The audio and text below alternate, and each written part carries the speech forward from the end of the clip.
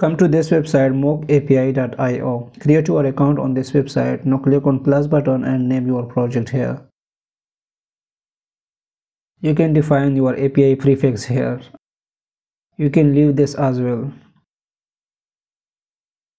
Now select your blog. Here we have our API endpoint. If I click on this, it is not opening because we haven't generated any data yet. Click on new resource to generate the data you can define your API endpoint here. We have API schema here. You can add more field here. Like I'm adding title here. I hope you already know about lorem. It is a dummy text which doesn't mean anything. Click on create and select the number of posts you want to generate and click on generate all. Okay now the data has been generated if I click on this you can see here it is opening and we have some formatted data here because I have installed the JSON formatted extension so it is showing me the formatted JSON data.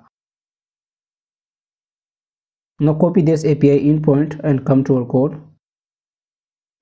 Here in the root I will create one folder. If you are using app router and the next js 14 I will create one file here this file will return the data which we will fetch from our API. So here define one function which will fetch data from our API. This function will be async fetch don't forget to write await before fetch paste your API endpoint here now let me convert this data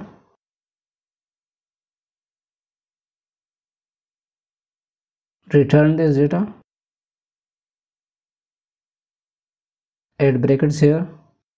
Now I'm using TypeScript so I have to define types for this.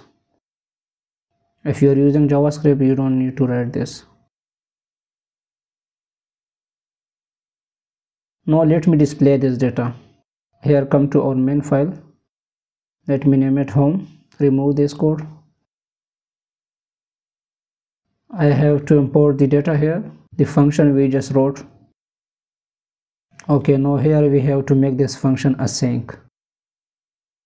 Here we have to define it in one variable await fetch data.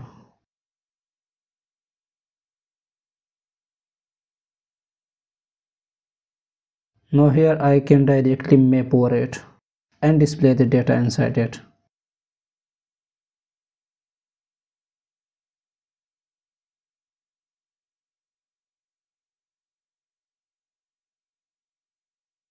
don't forget to add key here because it is required.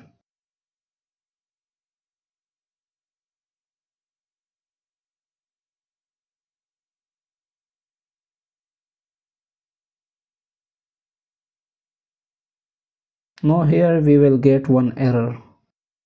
For the security purposes Next.js is not allowing us to get data from external sites, especially images so here we have to copy this host name and add this host name to our next.config.js under this define images and this is an object.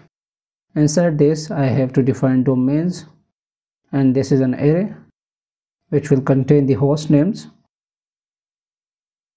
Okay now next.js will allow us to fetch data uh, and images from external sites here you can see we have the data.